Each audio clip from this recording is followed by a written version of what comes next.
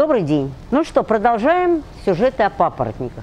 Слушайте, тема бесконечная, и говорить я об этом могу, я не знаю, вечно, не знаю, э, интересно вам или нет, но, во всяком случае, я думаю, что вещи, которые я показываю, э, вот особенно в сегодняшнем сюжете, вряд ли вы где-то еще увидите, вряд ли. Если только э, ну, тропические блогеры начнут, э, или там кто держит большие оранжереи, у кого это есть, э, начнут рассказывать вот э, про такие уже теперь экзотические папоротники, потому что, ну, нефролепис, мы с вами говорили, он все-таки уже давным-давно в культуре, и я думаю, что еще э, бабушки э, тех, кто меня смотрит, уже дома имели такие папоротники. Адиантум появился попозже в культуре, а вот то, о чем я буду рассказывать сегодня, конечно же, только у любителей. Хотя растения достаточно неприхотливые. И вот сегодня я думаю, что я вас ими заинтересую. И, э, ну, в общем, кому будет э, не безразлично, могут, э, конечно, у себя такие э, растения завести. Сегодня речь пойдет о роде пирозия.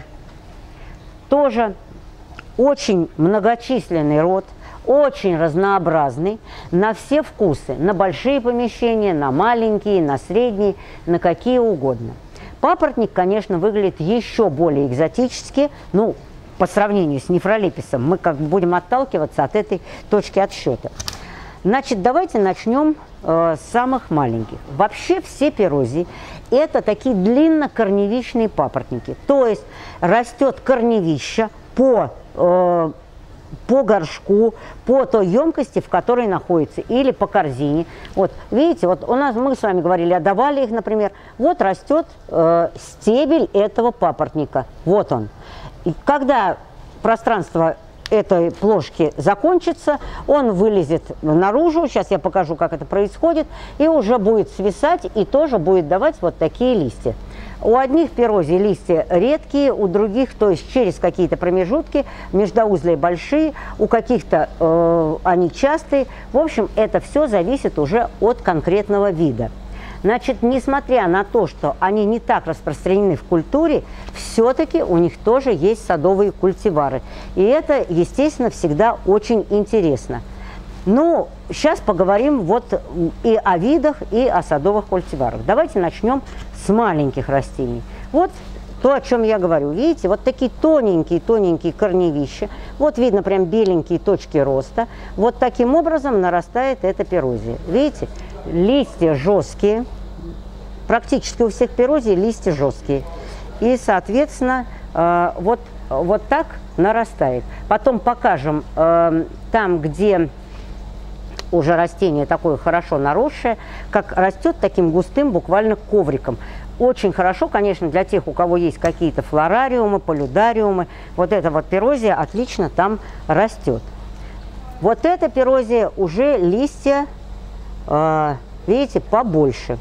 Причем, когда я купила, листья были поменьше. Сейчас я смотрю, вот эти новые нарастают уже такими достаточно большими. Тоже лист жесткий, тоже корневище. Вот в дырку проросло, и вот в эту дырку тоже проросло. Видите? Вот.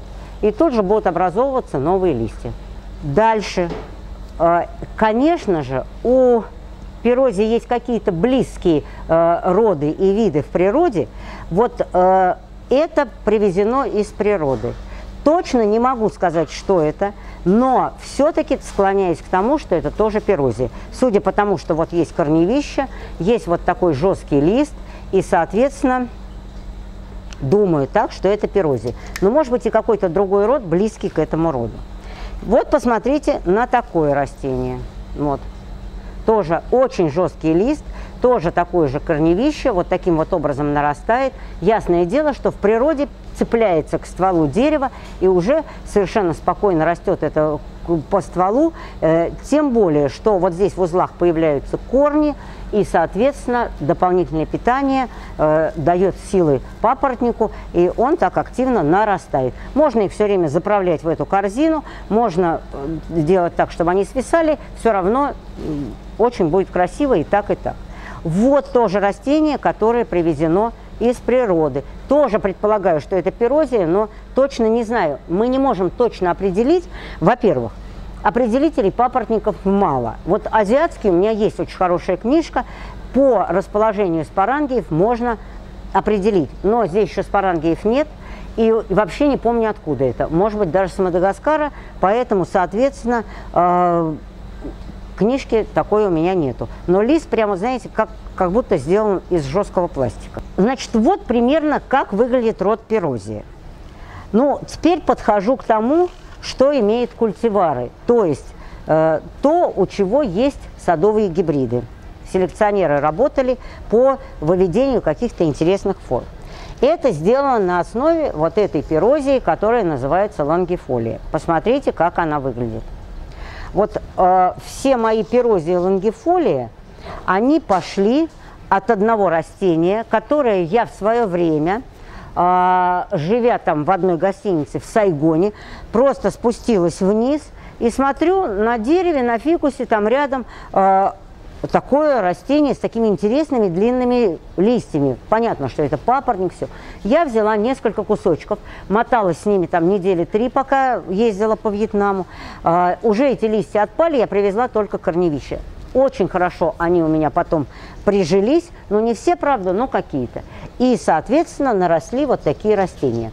Э, в природе же это, вот там, где я его сорвала, это просто растение росло в одну линию, поднималось, поднималось по стволу, и были редкие э, такие листья, большие междоузли, соответственно, вот эти листья в одну сторону располагались. Здесь в корзине растет по-другому. Вот это корневище, такое, видите, тонкое, вот, но тем не менее очень жизнеспособная. Потому что я говорю, возила-возила и привезла когда, и все-таки пошли листья к моему э, удивлению и радости, и вот выросло такое растение, замечательное.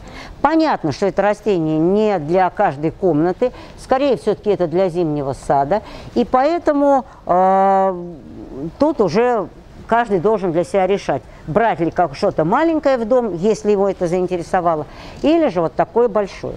Значит, по мере роста этого растения мы видим, что вот, как правило, лист вот такой вот длинный, видите, вот, вот такой вот совершенно ровный. Но бывают формы, а вот, например, на нашем растении, когда один лист взял и образовал развилку. И дальше уже пошло э, как бы два листа.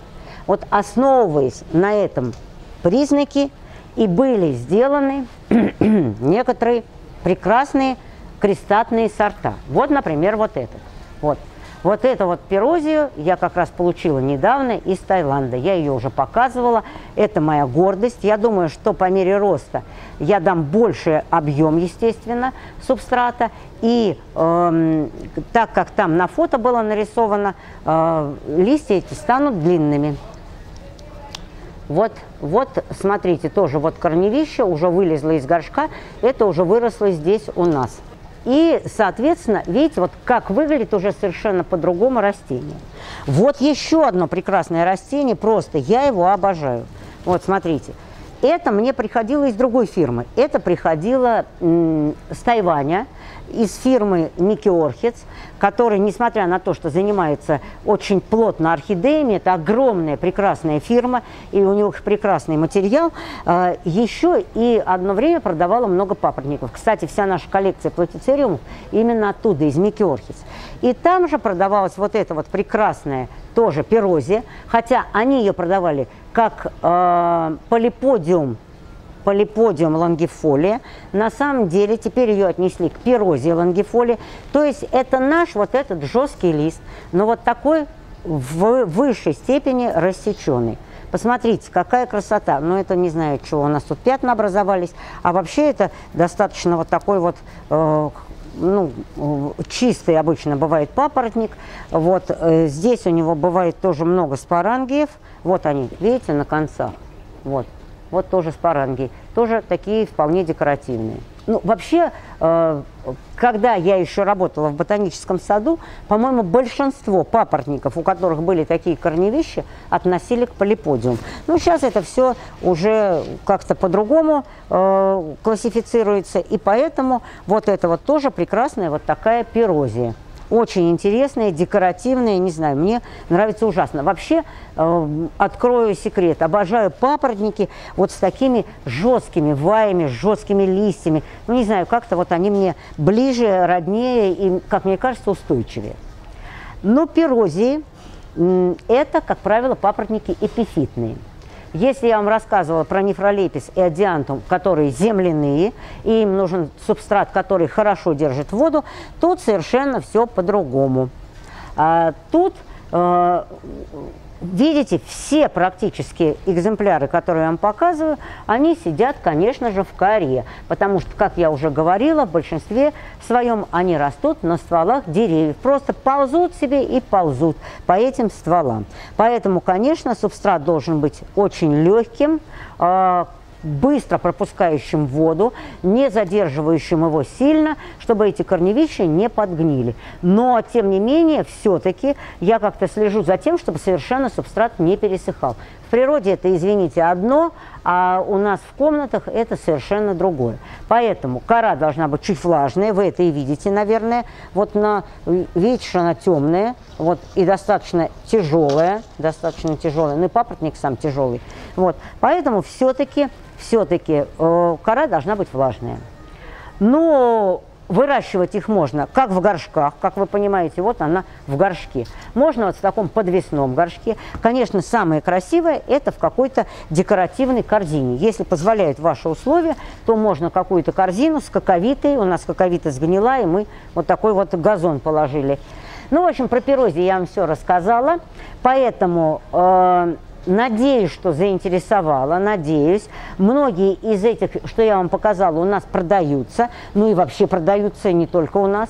Вот. Поэтому будет интересно, соответственно, приезжайте, смотрите, покупайте.